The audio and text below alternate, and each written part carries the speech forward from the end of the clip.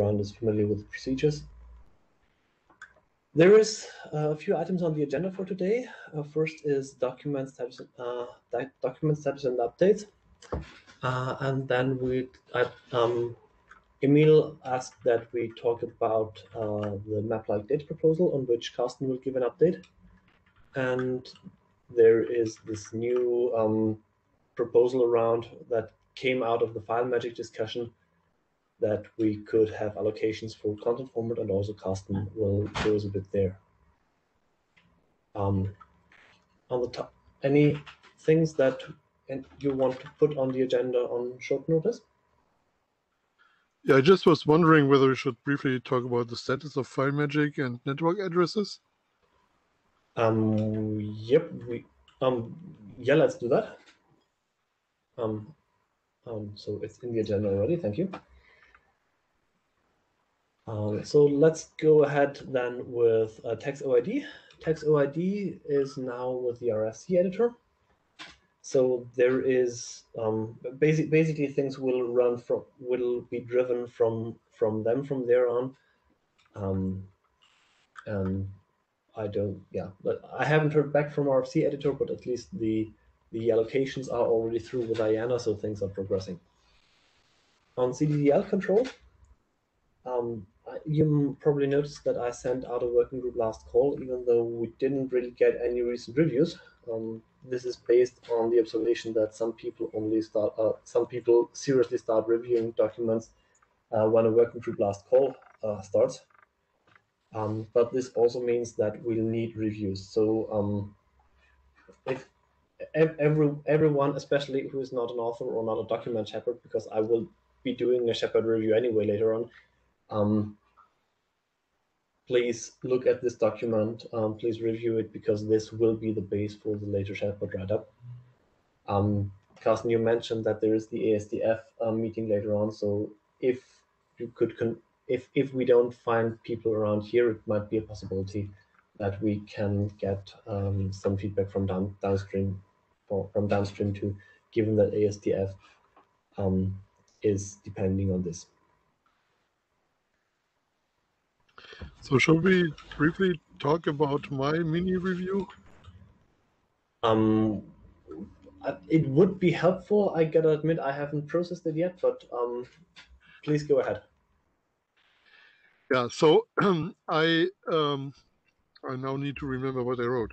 Um, uh, I thought it might be useful to since since uh, I have been using the, the, stuff in the document for for a year now um, in various contexts. Um, if I uh, briefly make uh, uh, my my observations uh, known, and uh, there is a little bit of um, uh, a little trap that we are setting up with a feature control. so I, of course, I immediately ran into it. So if I say this is feature 1.1 uh, I sometimes write the floating point number 1.1 instead of the string 1.1, and that creates some confusion. I think that that's mostly a tools issue. The tools should tell you that this doesn't didn't make a lot of sense. Um, but uh, I, I, just wanted to mention it uh, in case other people run into the same problem.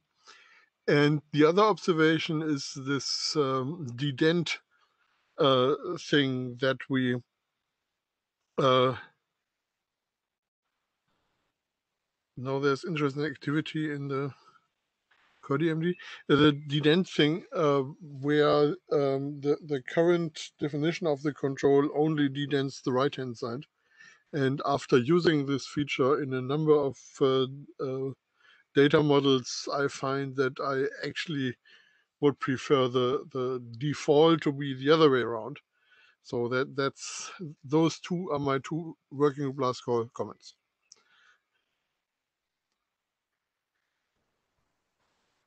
If dedent were to act um, in um, to dedent both sides independently, is there does that when where's the justification for it being a being a an operator with two arguments at all?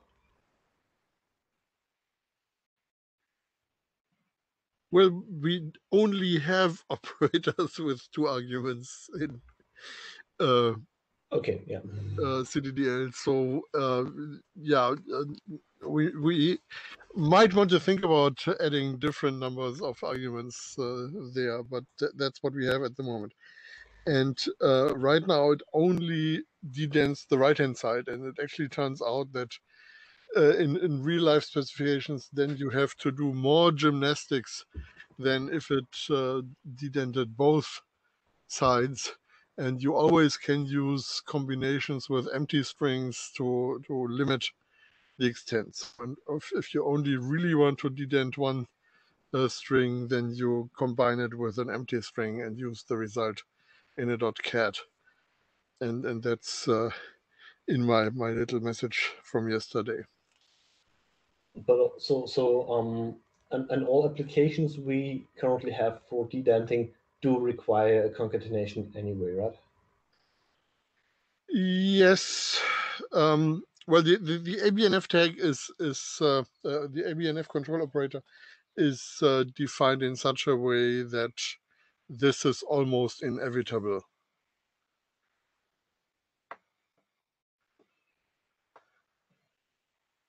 So you essentially always need, need the dedent uh, when you want to use ABNF. But the, the, the point is that I noticed that when you use ABNF, uh, you often combine um, ABNF from a specific RFC with boilerplate ABNF that comes out of RFC 5234. And that, that means you need to dedent both parts, and it, it's uh, yeah less gymnastics if you can do this with one dot det.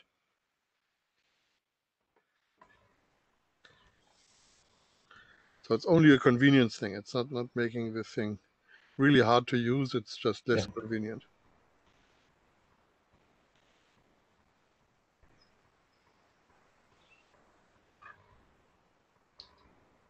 Sounds plausible to me. Um, any comments on that?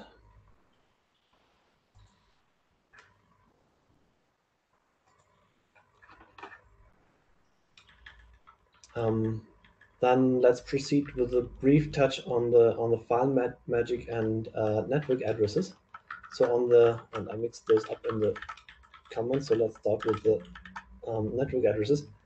Um, there is there is one that one issue that was discussed on the mailing list, um, not not even so recently, um, on the on whether we need something additional for um, for addresses that contain that, that include a net mask. Um, Michael, if I understood you correctly, it was a matter of yeah, if there are users, you can add it to the document, but mm, whatever the working group wants.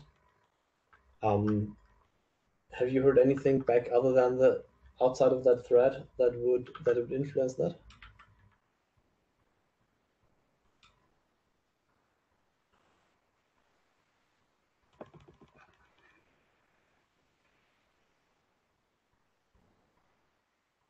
Michael, if you're saying something, you're muted.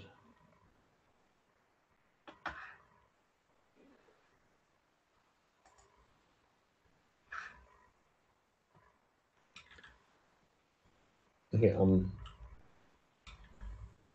so my, my understanding of this document is that um, the author is pretty happy with, with the general state. So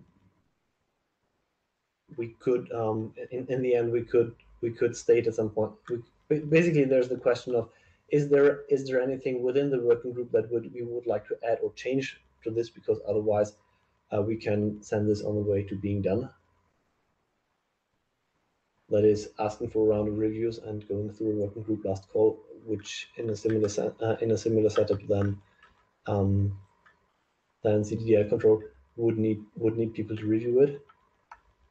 Um, and turns out, um, except for the point that might we might come back later to, uh, file magic is, as I understand, in a very similar state, where if there is additional input from the working group, now would be a good time, because otherwise um, we can we can let that proceed and and go through a round of reviews to send it out of the mail out of the working group.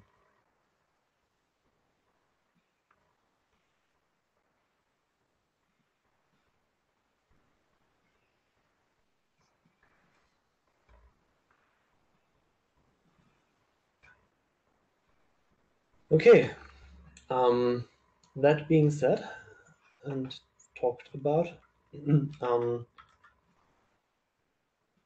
I'm still not seeing Emil on.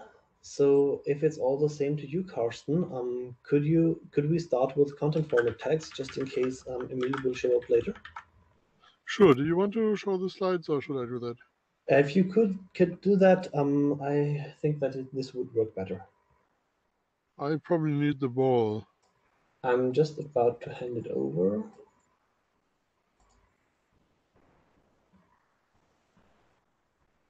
Where do where is ah right there.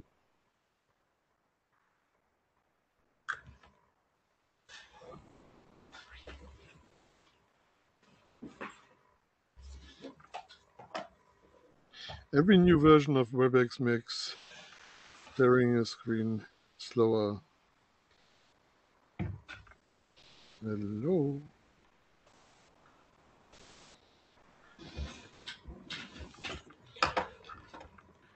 That's a feature, Carsten. It lets you get a cup of coffee while it shares your screen.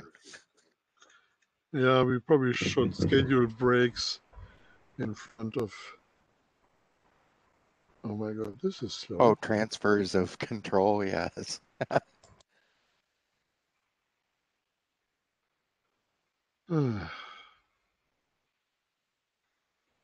Supposed to get to be able to use Meetecho from now on. I'm all in for that. I'll vote for that one too.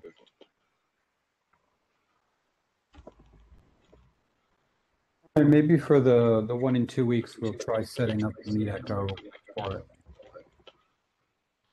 We can always have the WebEx as the backup if uh, we have problems. I think I asked them, I suggested we do for Meetecho is um, allow multiple people to share their screen with the chair picking who controls. Because that way you'd have the whole, did I pick it right? Do I know what I'm doing? Could all happen in the five minutes before the meeting. Or just just having Meetecho as it is would already be an improvement. Yeah, so maybe somebody else should be wearing them because I'm momentarily um setting this up. can't you cancel this thing?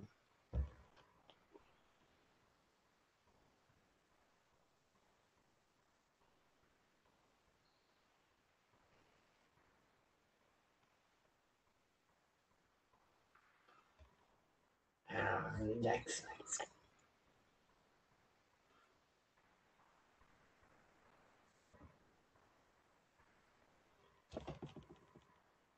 Just not doing the right thing for me either yet.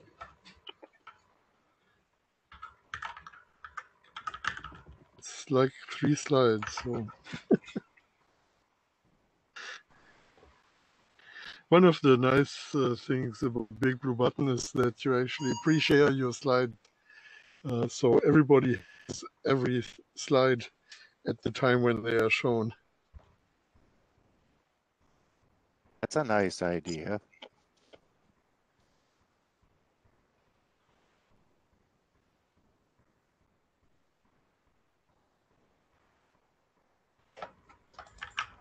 So should I see anything? Um, no, not yet, unfortunately. I don't. It do- doesn't doesn't work for me either right now.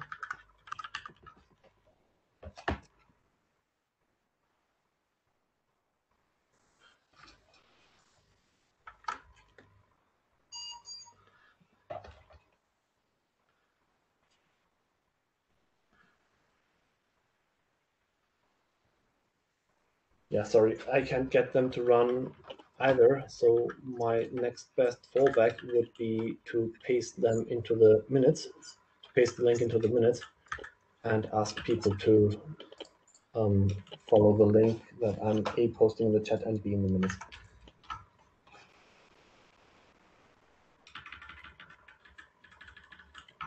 Yeah, so we are looking at slide one, which is the title slide. So we can uh, just go to the, the next um, slide, to the second slide. And uh, so when, when we were discussing the, the FileMagick, uh, we noticed that uh, one uh, pretty useful, oh, thank you, Michael. Uh, we noticed that um, one rather useful thing would be to use the content format IDs that we already have allocated uh, for a 32-bit uh, tag for a media type.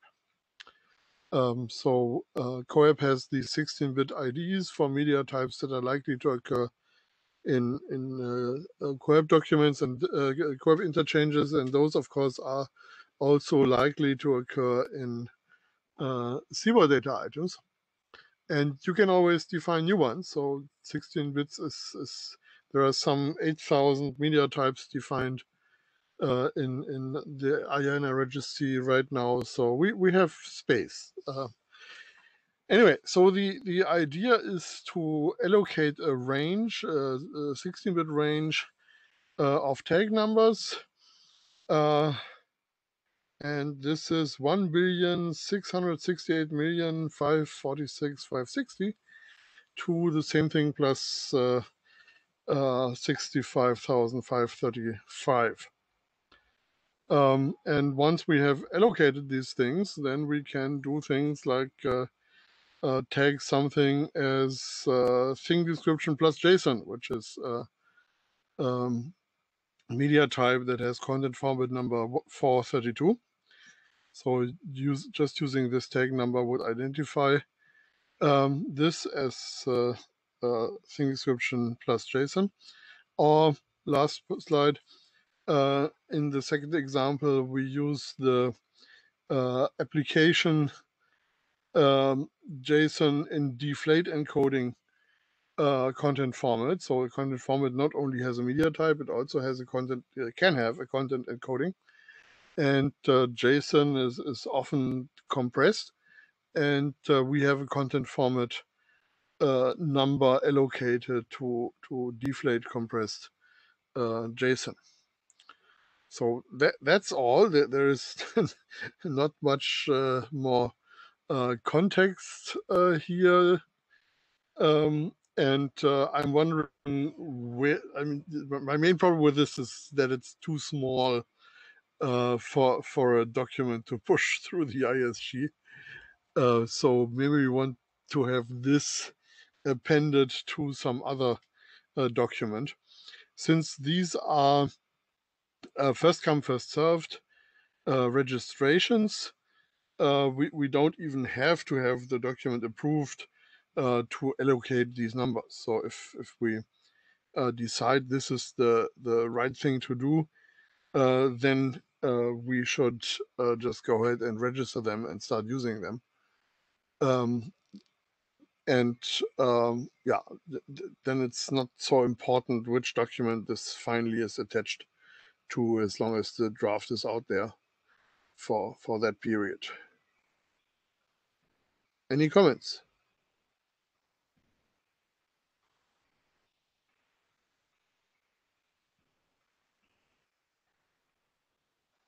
Seems like a really good idea to me. Seems like you could append this to file magic if you wanted to.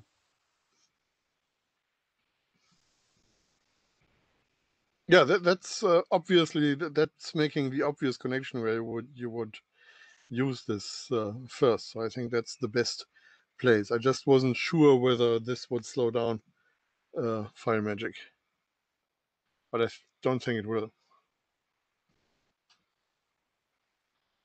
If it turns out it does, we can still split it out again. Um, but sounds like a good good idea to me.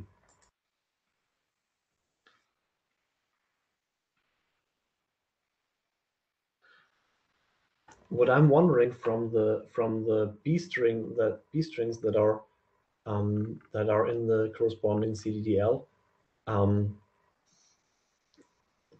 the the CBOR the the tags from uh, from the self from the um, from the file magic document usually applied to the C kind of are packed around the the internals of the of the CDAR doc, or document. That is, they take an they take an any, and if that if that format happens to be defined as B string, but most CBOR formats are not, um, then it's B string, but usually it's an any.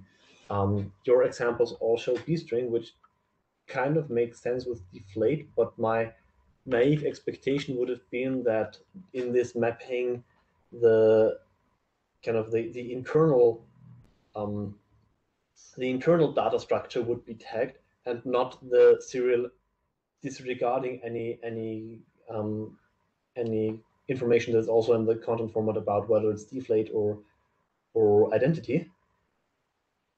So um, does this does this only apply to the encoded documents? And if so, how does it match to what we're doing in uh, in the in the file magic in the first place, which is about tagging the CBOR item itself rather than uh, CBOR encoding of a CBOR item?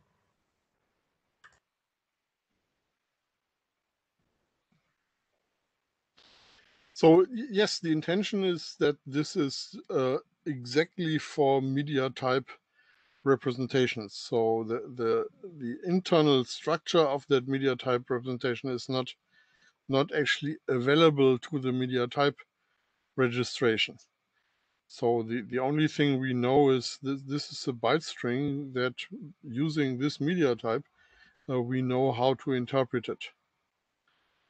So byte string is, is really the only tag content uh, that uh, makes sense. But one, one, might want to make an exception if it's uh, if it happens to be a text string like with JSON. If you go back to example one, uh, then of course the, the question is why, why is that uh, TD plus um, uh, JSON actually encoded as a byte string? Uh, but it is because uh, representations in, in the media types we have are usually byte strings. The, the few other um, cases, 7-bit and 8-bit, really don't make sense in 2021. So it's al always about string. But then this all looks more to me like the LCT and less like what we're doing with um, with file magic because file magic is about annotating the internal um, the internal CBOR structure, and that's not what we're describing here. Or phrased differently, that some, someone could go along and register all those kind of do the same work again, um, but for the uh, but with the with a tag meaning the same thing but for the decoded form, which would then be more aligned uh, with file magic, um, and of course only makes sense for any content format that is an a plus C is a plus CBOR and not for all the others, and would be kind of indistinguishable between plus CBOR with deflate encoding and plus CBOR with identity encoding which of those is useful is the and and which of those does fit with FileMagick?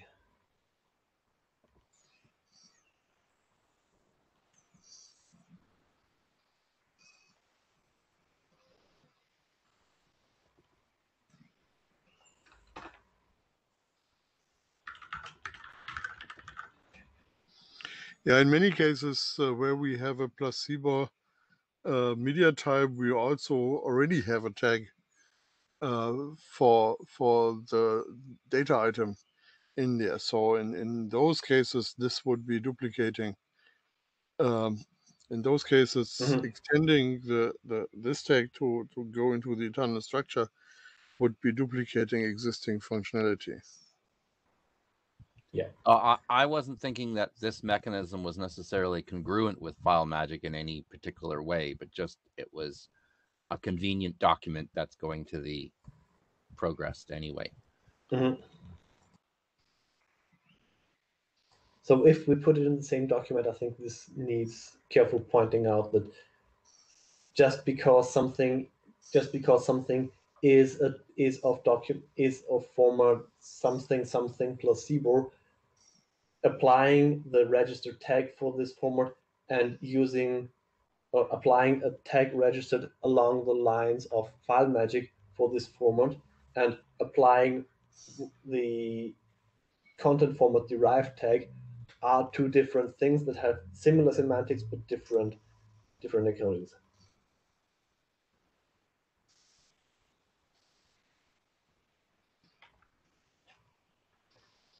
Yeah, so I, I can take an action to, to supply a pull request to Michael's document where the the text from from uh, the the current internet draft has been mangled to to do what you just said.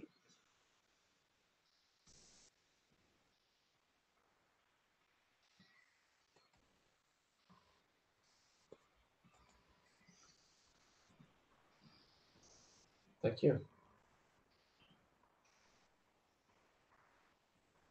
More comments on this topic? Approval, objections, notes on the weather?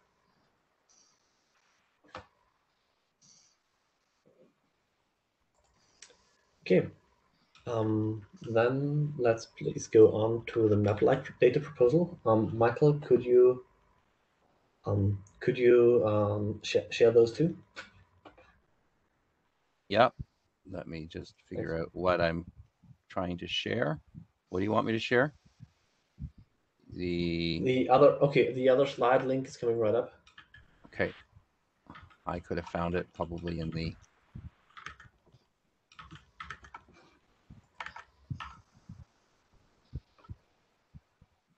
Link on Roberts. In the chat now, Michael.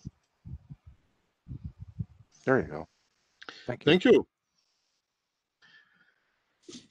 so we have this this long running discussion about uh, map like uh, data and tags for those in in CBOR. And uh, next slide, we have a current proposal, uh, which essentially provides a number of knobs, non-ordered versus ordered, uh, whether duplicate keys are uh, provided for, are allowed, and uh, whether keys or maybe even keys and values are homogeneous. And next slide, this leads to to this uh, to these 12 tag allocations. Um, and um, this is pretty much stable. So what, what we maybe want to hone a little bit is uh, our discussion of how existing tags that address similar problems relate to what's in here. So th this is meant to replace the proposals to the the um, tags that um, were proposed to be 279 and 280 and it's related but not entirely replacing 259 and 275 so Are the L- uh, is the LSBs here supposed to map to um, these two columns or something like that? yes Okay.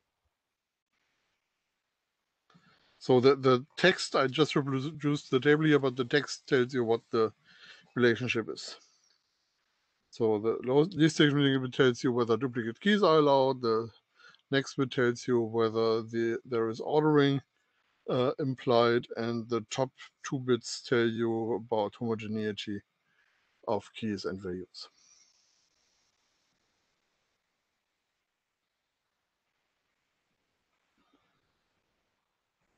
So the, the fact that there are related tags that, that are not entirely subsumed by this uh, might be considered a diagnostic that this uh, proposal isn't really covering all bases. Uh, but yeah, the, the, the, those tags are different uh, because they they address certain differences in existing platforms, and those differences are bizarre. So it's it's not surprising that uh, they don't exactly fit the the ordered structure that that we have come up with here. Okay, so uh, from that point of view, I would say we are pretty much done. But uh, then next slide, um, there, there is a question coming up. What is the representation we actually use for the, the semantic groupings that, that were on the previous uh, slide?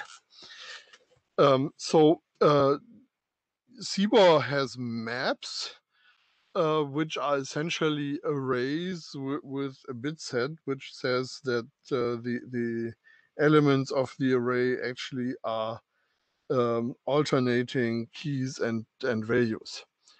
And uh, the the representation that we are using here um, is essentially that representation, but with that bit not set, because uh, with bit set it would just become a normal CBOR map.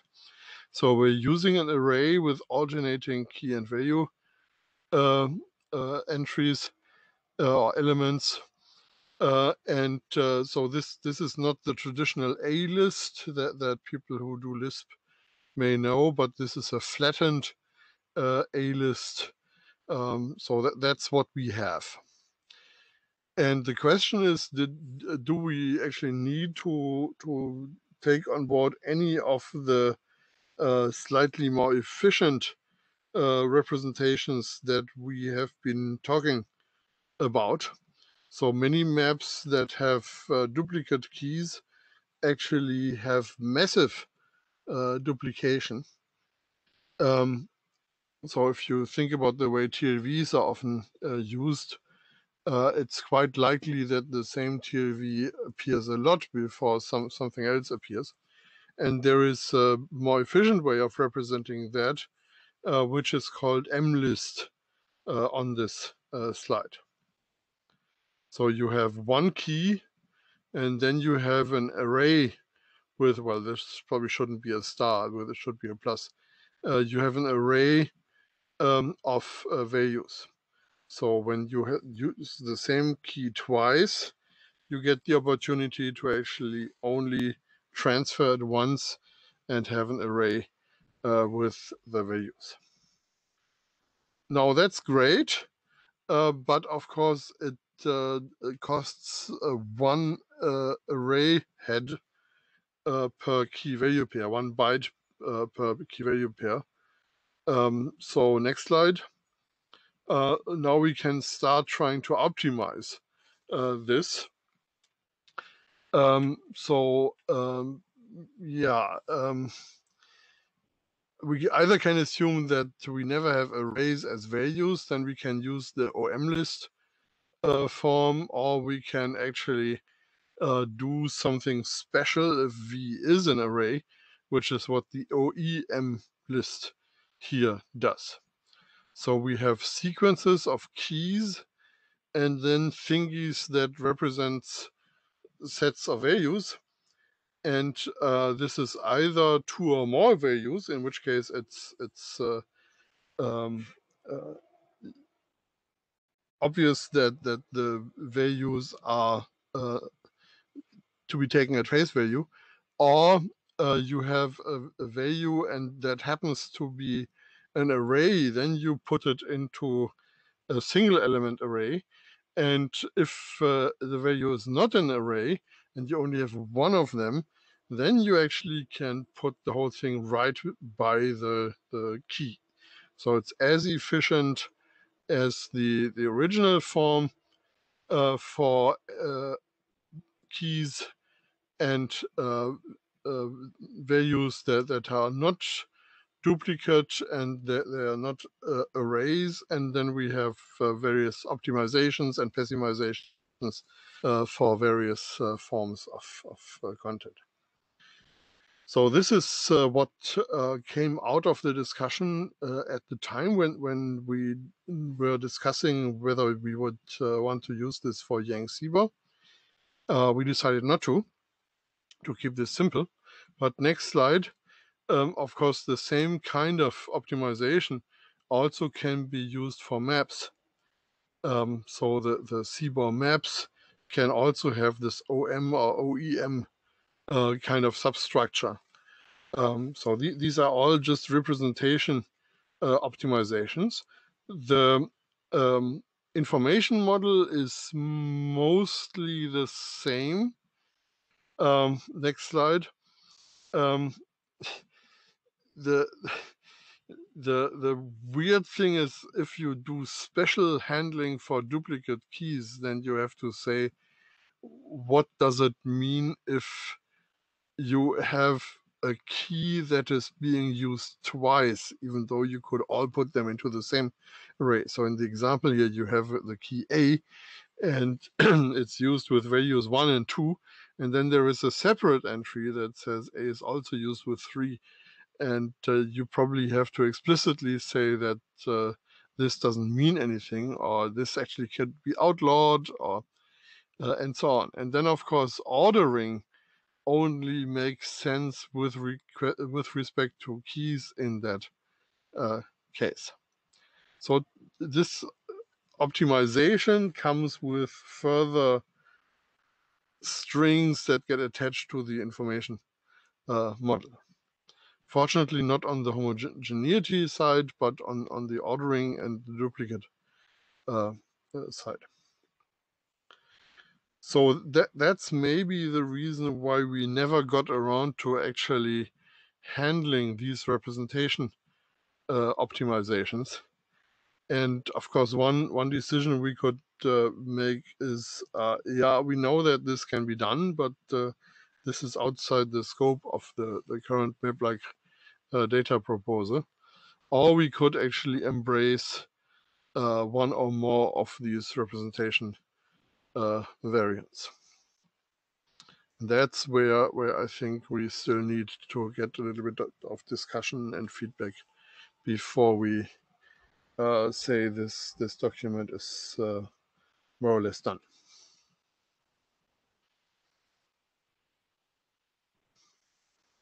Um, I have a question on, on how this might how, how you expect this to be used if you could go to the first slide, but it also relates to the very last. Um, uh, sorry, the third slide. Thank you. Um, there are a few.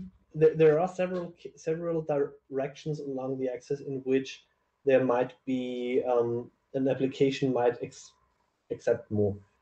Is do, do we expect that a particular format will pick one of these tag formats and decide that this is it? Or is this more like there will expect there to be a map like thing that is say at least or uh, that that is at least ordered and ex- accept that there might be might be variations so for example that um that a producer of content uh, would state that its values are homogeneous and the consumer accepts both accepts homogeneous values but would also accept inhomogeneous values and that this is a, a direction in which the, the receiver can can accept several versions. And the same question would then later go if we do embrace several of these encoding variations can we are there systems where we would expect that they just accept any of this, these encoding variations? Or would every application again have to pick one of those and hope that hope for sake of code duplication that all applications run on a system uh, will will converge on one the, or two of those? So the, the, the answers to the two questions are very different. Um, this table really is about the information model. So only three of these are encoded in a different way than the other nine. Um, so from, from the point of view of, of encoding things, these are all the same and they tell you what the information model is. And it's rather unlikely that you define a protocol where at the same place uh, you have the choice between different information models. Um, so that, that does happen, but it's uh, um, not the usual way of, of doing things. So your protocol probably would uh, pick 136 and say this is uh, uh, the, the tag that you are using. So that, that's about the information model side, which this slide is about. on the representation side, um, I think we we are not going to get rid of FA list because that's just the, the simplest way to do this. Mhm. Um, so the, the question is essentially, do we take one or two of the other uh, variants on board? And similar to the way FA list can be used both for for maps, I mean that, that's what what CBOR says you do in maps, and can be used for arrays uh, we might want to to do that optimized for for maps and for arrays uh, again. But I think we don't want to open a whole gamut here, but but rather just say that there is one more optimized approach that you can use if it actually makes a difference uh, for your your application. That would be a case where actually the same information model might allow two different tags uh, to select between two different representations. Mhm.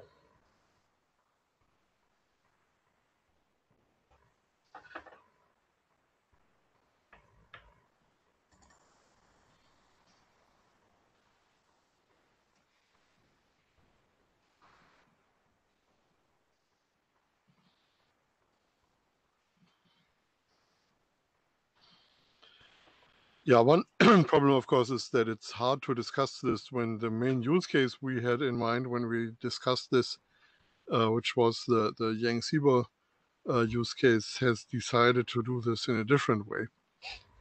Um, but uh, it's, it's very likely that, that other use cases will come up in, in actual protocol specifications. So I, I don't think it was a fluke that we came up with this in, in the Yang CBOR case. It's funny that you just mentioned this now that I wanted to ask which protocols would we have used this in if we had it already? Yeah, it, it really occurs a lot in protocols that um, are that started out as a TLV approach because TLVs are essentially ordered uh, maps, um, and uh, it, it's not unlikely in a TLV environment to use the same TLV, uh, the same T for the TLV uh, over and over again.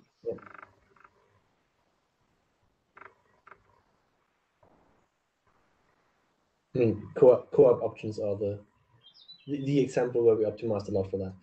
Well, CoAP options also have data encoding, which is yet another optimizations optimization. So uh, I didn't even discuss this very much on on the uh, slide.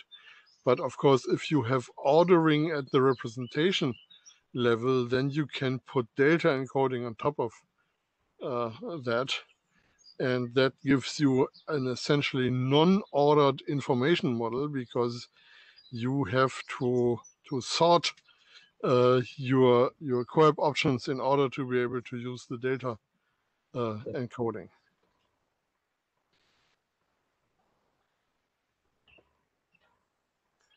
So you only have ordering within one option type. So the, the various path components, for instance, these are ordered, but uh, between option types, you you uh, have a non-ordered situation because the ordering is uh, in the representation is uh, based on the number uh, allocation of the option number.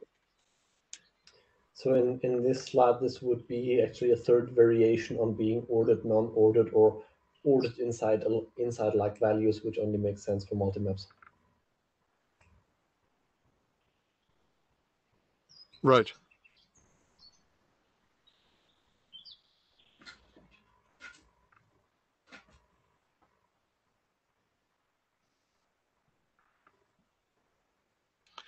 Yeah, if, if we don't see a pressing need to address the optimized versions, of course, these can be added later.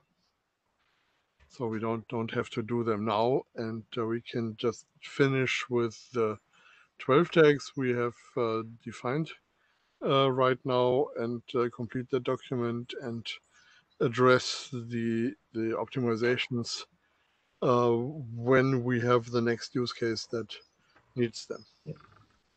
Which of course makes it slow to actually have that use case.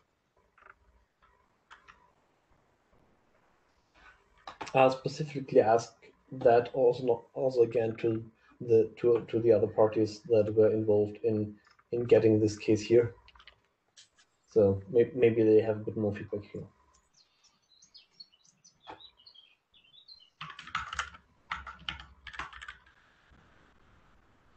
Okay, it seems to me that that is pretty much the conclusion.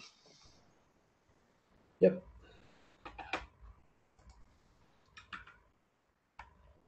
So thanks for bringing this here. More comments on this?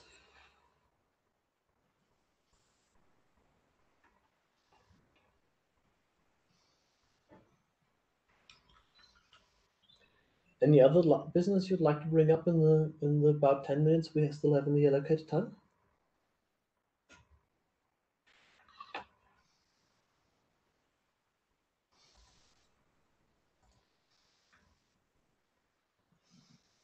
That case, I think it makes sense to just wrap up early. Um, thanks everyone for your input and for being here. We'll meet again, same um, same time, but probably different station if we can get a Meetecho um, test room. And with that, see you in two weeks. Thank See you in two weeks. Thank you. Bye bye. Yeah. And thanks for taking notes. You're welcome. bye bye.